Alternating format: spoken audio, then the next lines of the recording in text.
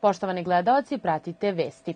Sinoć su u Staroj Pazovi obijene tri kuće u ulici Jana Kolara od broja 30 do broja 50, iz kojih su provalnici odneli novac i počinili materijalnu štetu. Serija krađe se dogodila u periodu od 20 do 21.30, a kako nezvanično saznaje radiotelevizija Stara Pazova, u jednoj od obijenih kuća živi i nekoliko odbojkašica prvog tima Staropazovačkog jedinstva, koje su u to vreme igrale utakmicu Revanš Kupa Srbije u Beogradu protiv Crvene zvezde. Policija je izvršila uviđaj i za počiniocima se traga. Epidemijska situacija u Srbiji nije ni malo naivna, krizni štab će zasedati sutra na kome bi trebalo da bude doneta konačna odluka o eventualnom jesenjem raspustu. Zamenik gradonačelnika Beograda Goran Vesić rekao je da na sednici kriznog štaba neće podržati predlog medicinskog dela kriznog štaba da se radno vreme ograniči do 17 časova. Struka upozorava da samo vakcinacija i restriktivne mere mogu da zaustave širenje virusa, a u Beogradu će se povećati broj punktova punktova za vakcinaciju i testiranje na koronavirus.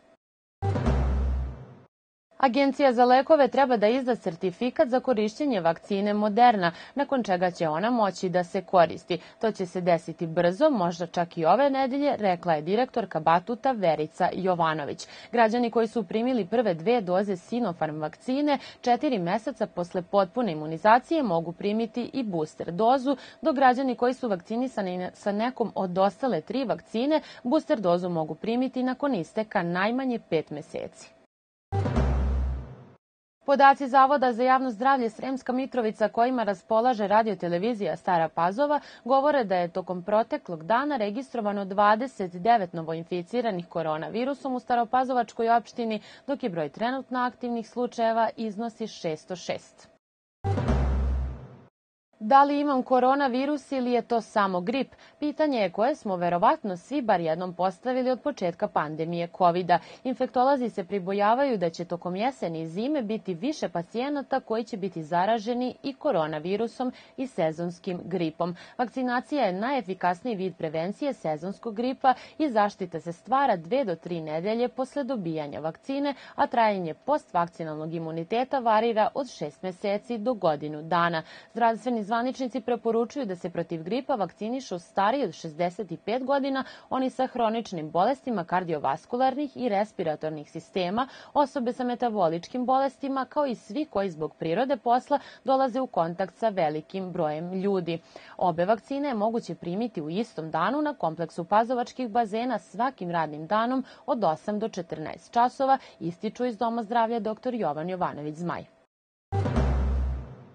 Vlada Srbije je na današnjoj sednici usvojila predlog budžeta za 2022. godinu kojim su planirani javni prihodi u iznosu od 1516,8 milijardi dinara i rashodi od 1717 milijardi dinara, što znači da je planiran deficit republičke kase od 3%, izjavio je za Tanjug ministar financija Siniša Mali.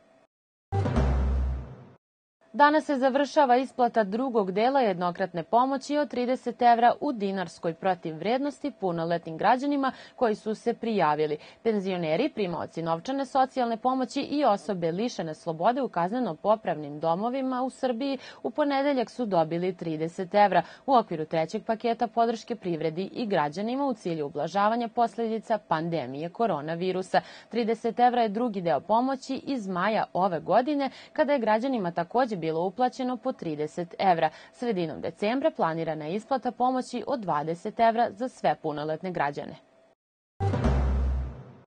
Poreska uprava Srbije podsjetila je privrednike da prijavljivanje za subvencije za novu e-fiskalizaciju traje do kraja januara 2022. godine. Postojeći obveznik fiskalizacije, kako se dodaje, može da ostvari pravo na finansijsku podršku po svakom prijavljenom poslovnom prostoru i prijavljenoj poslovnoj prostoriji u iznosu od 100 evra, kao i finansijsku podršku po svakoj prijavljenoj aktivnoj fiskalizovanoj fiskalnoj kasi u iznosu od 100 evra.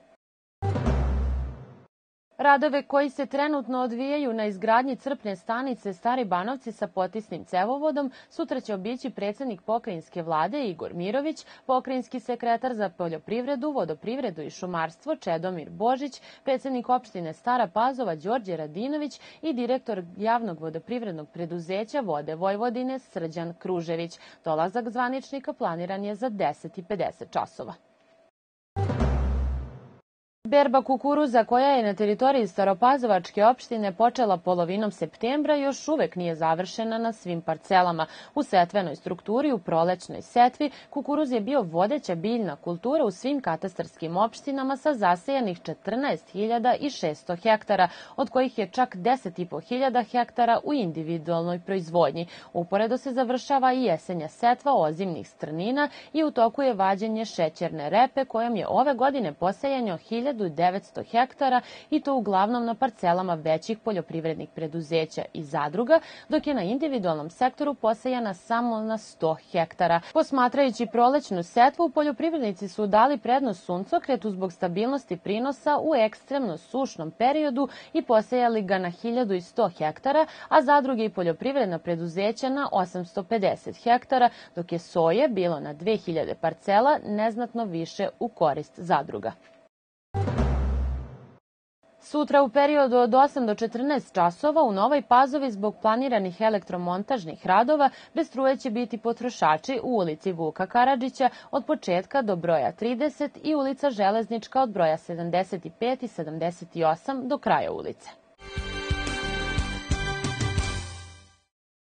Odbojkašice jedinstva iz Stare Pazove nisu uspele da se plasiraju u polufinale 56. kupa Srbije, pošto su sinoć u Beogradu izgubile od ekipe Crvene zvezde. U drugoj revanš utakmici četvrt finala odbojkašice Crvene zvezde zabeležile su pobedu rezultatom 3 prema 0 po setovima 26-24, 25-21 i 26-24. Jedinstvo u subotu 6. novembra dočekuje Tent iz Obrenovca u okviru šestog kola Banka Poštanska štedionica Superlige Srbije.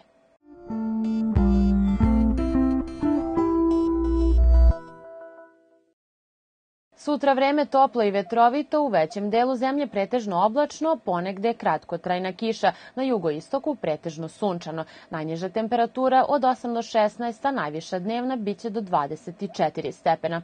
Hvala vam što ste pratili vesti. Ostanite i dalje uz program radio televizije Stara Pazova. Prijatno!